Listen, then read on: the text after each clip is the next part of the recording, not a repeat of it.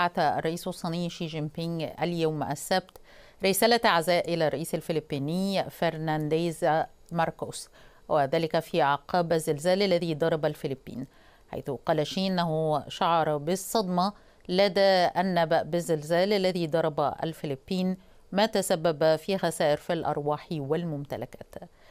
قال رئيس الصيني إنه نيابة عن الشعب الصيني حكومة وشعبا وبالأصالة عن نفسه يقدم العزاء العميق لعائلات الضحايا ويعرب عن تعاطفه القلبي مع الجرحى والأسر المكلومة.